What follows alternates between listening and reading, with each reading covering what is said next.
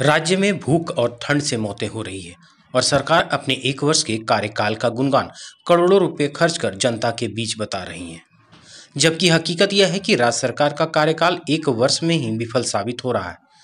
राज्य के मूल निवासियों को ही ना तो केंद्र की और ना ही राज्य सरकार की योजनाओं का लाभ मिल पा रहा है।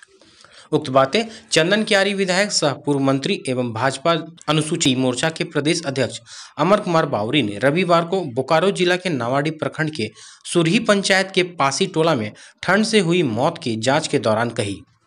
साथ ही उन्होंने बताया कि गुमला जिला के पालकोट में भी एक व्यक्ति की मौत ठंड के कारण हो गई है।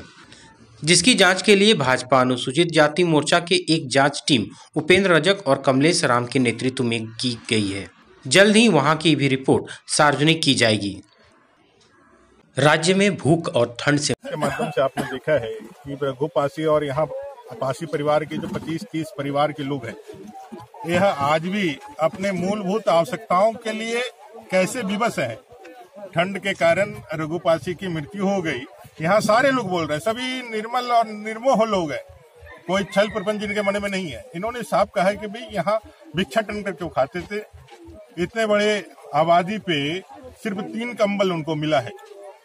और लोग, बाकी लोग जो है, इसी तरह से ठंड से बेहाल है।